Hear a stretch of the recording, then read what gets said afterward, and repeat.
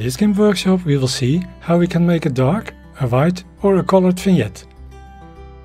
When GIMP is open, we select all three example images in our image folder and bring them into GIMP by drag and drop. In this way they will open as separate images. Make sure that the image with the sleeping woman is visible. Zoom out a bit by holding the Control key and rolling the mouse wheel. We will start by making a new layer. Click on the New Layer button at the bottom of the Layers panel. Name this layer Dark.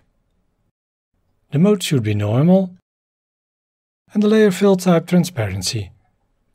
Now click OK. Click on Filters, Light and Shadow and then on Vignette. Before making the vignette for this image, we will go through the different options. Make the radius about 0,9 so we can clearly see the effects. Here we can choose between a circle-shaped vignette, a square or a diamond. We can click on the eyedropper and then on a certain color in the image, but this works only when we apply the vignette directly on the image and not on the transparent layer. It's usually better to make the vignette on a separate layer, so we can edit the vignette independently from the image. When we click on the color, a color palette pops up and we can choose any color we like. Here we can use the color picker and when we do, the vignette is applied to the transparent layer and not to the image. Click Cancel. The softness slider makes the edge softer or harder.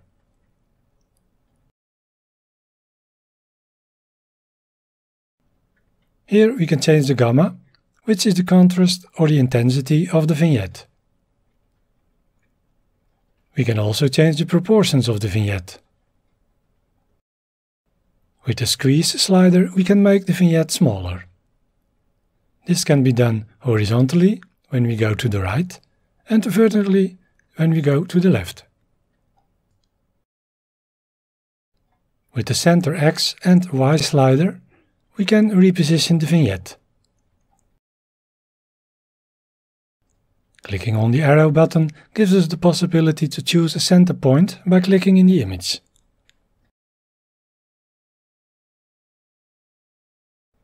Locking the chain makes us move the vignette in a diagonal direction. With the option Rotation we can rotate the vignette. Click the preview off and on. When the preview is checked, we can also click on Split View. When we press and hold the Shift key and then click on the line, it flips the split view horizontally. When we do the same with the Control key, it flips vertically. We can move the line itself by click and drag. We can also make a vignette in a selection. Click Cancel. Now click on the Free Select tool. Make a selection Then click on Filters and then on Reshow Vignette. Right away we can see that only the selection gets the vignette. Click on Select and hit None. Now we will make a vignette for this image. We change the radius to about 1,5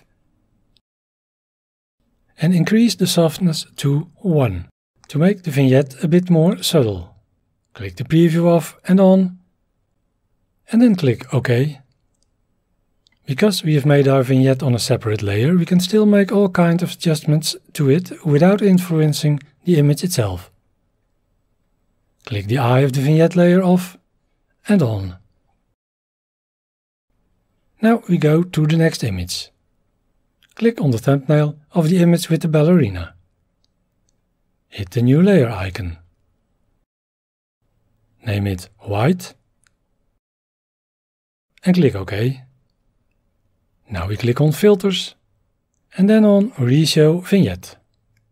Click on the color to make the color palette visible. We will make a white vignette, so we just move the cross completely into the white corner.